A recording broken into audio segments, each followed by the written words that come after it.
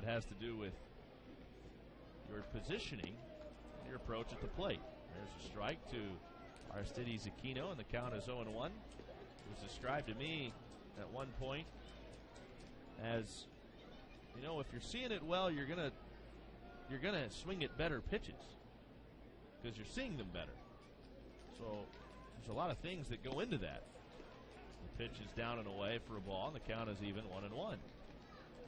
I think also when you're seeing the ball well and when you're hitting well, it just feels a lot more effortless. Yeah. I mean, the comparison I would make is like if you're playing golf.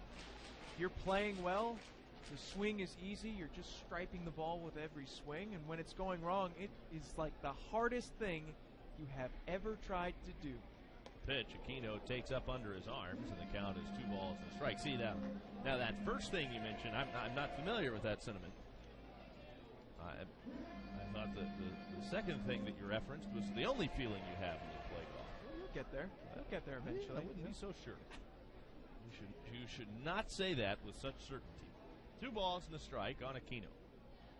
First and second, one out, scoreless in the seventh, and the pitch. Aquino out in front of a breaking ball, and the count is even. Two balls, two strikes.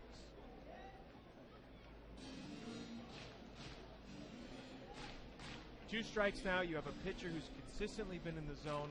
I'd love for Aquino to just shorten something up and try and shoot a ball to the opposite field with one quick swing.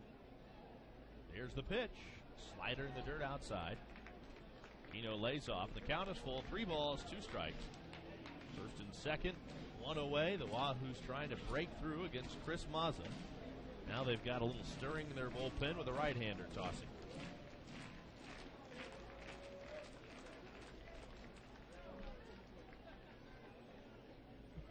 Signal given.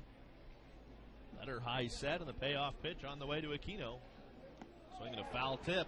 And again, Nola holds on to it and back to back strikeouts when Chris Mazza needed him most in the seventh. And